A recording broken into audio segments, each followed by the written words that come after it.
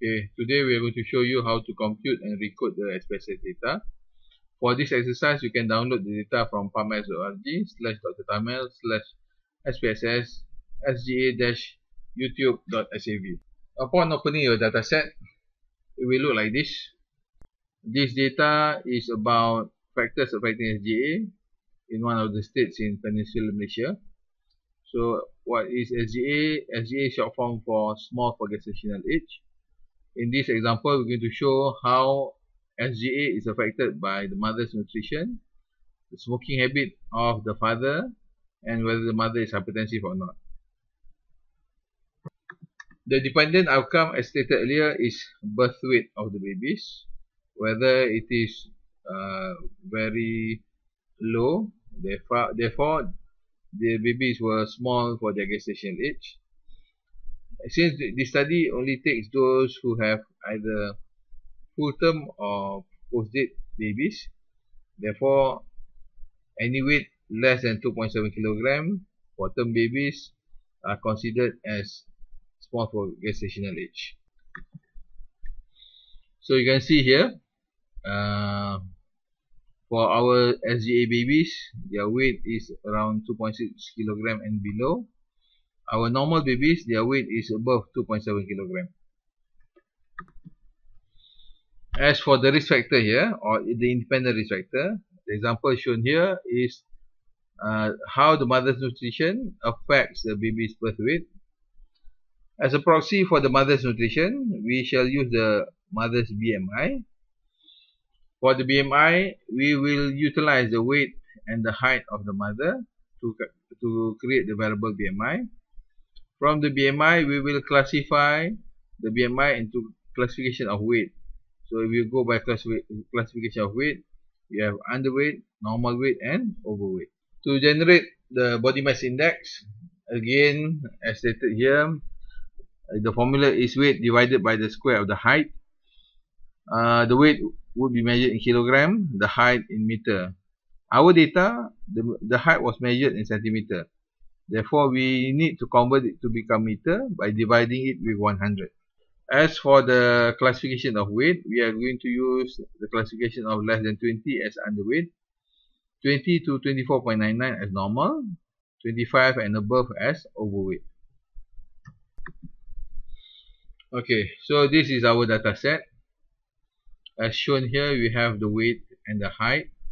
The weight is in kilogram, the height is in centimeter uh, what we like to do, we like to convert the height uh, from centimeter into meter so that we can generate the BMI. So to generate the BMI, you click uh, transform, compute variable. For the target variable, we shall type the word mother's BMI, MBMI, type and label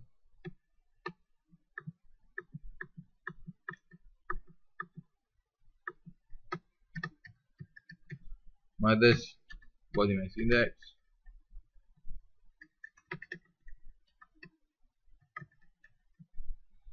Okay continue.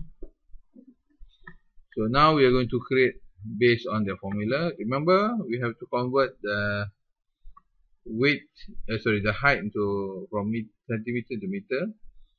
So as for the weight you can use the weight efficiency divided by the height. So the height here you have to convert from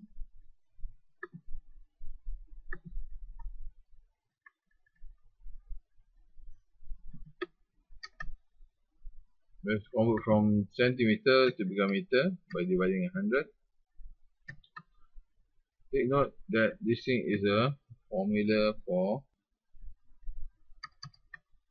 okay, so this is a final formula. Okay. So if we zoom in, you can see the mother's BMI is basically the weight divided by the height okay, squared. Okay. So the height, the weight is in kilogram, the height is in meter. Once you click on OK, it will create the new variable, mother's body mass index. So you can see on the far right side, there is a variable mother's BMI. Okay, uh, for this data set, the maximum, uh, sorry, minimum is 10. The maximum, the maximum is 41. Okay, so we have created the variable BMI for use in our later exercises. Okay, so let's continue with the exercise for recode and transform. So now we're going to recode the data from the BMI to classification of weight. Okay. So to recode the data is very simple. Okay. So how are we going to recode? So we're going to classify underweight 0 to from 0 to 19.99 coded as 1. For normal, we're going to select those who are whose BMI is 20 to 24.99. It will be coded as 2 then those with a body weight of 25 to infinity, that one will be coded as 3. So let us recode the data. So to recode data, click to transform, recode into different variables. Okay, first we're going to set the variable that we're going to transform, which is the body mass index. So we transfer it here. The new one is classification of weight. So weight class. Okay so the classification of weight.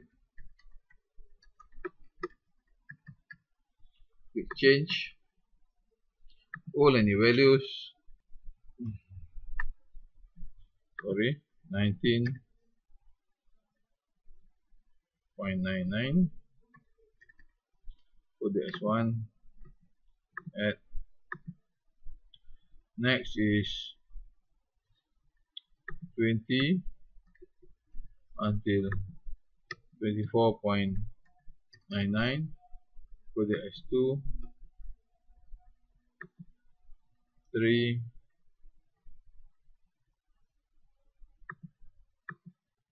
25 and highest.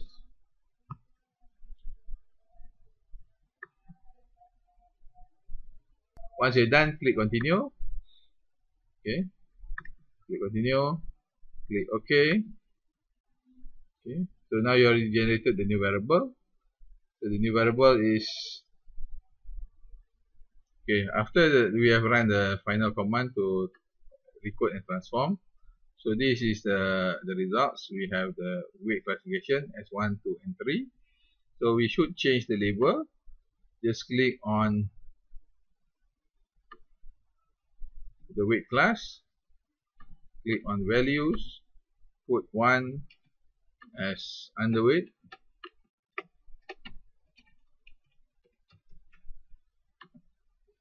two as normal. Three as overweight